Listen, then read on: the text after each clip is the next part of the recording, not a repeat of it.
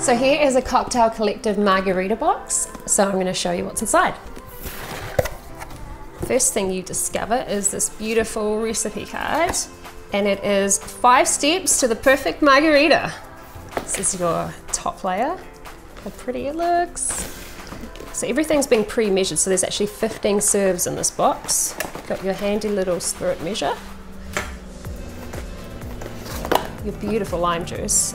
It is actually yummy. Look how cute these little bottles are.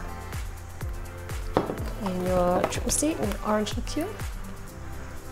Your little garnish, your little lime wheels.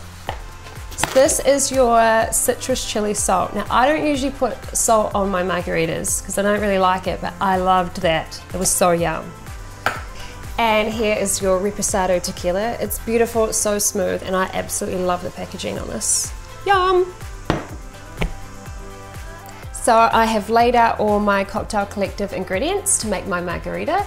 I pulled my glasses out of the freezer, so I'm now going to prep them. So we've got two sauces here. One has lime and one has the chili salt. So I'm just gonna dip it in a little bit of the juice and in the salt, just like that. Voila. We're making two drinks, so the next step is to add our ice, about three quarters full. We're gonna take our tequila.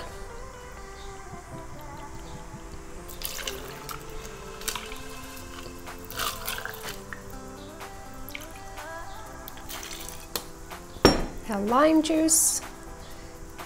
This is really good lime juice, and it's from the Hawke's Bay. Sec.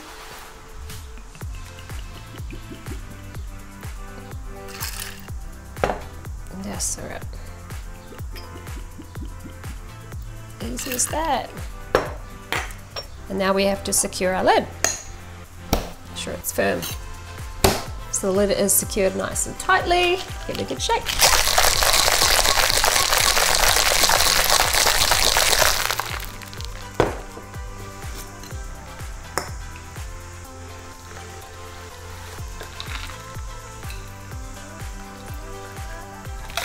Add our garnish. Beautiful and easy.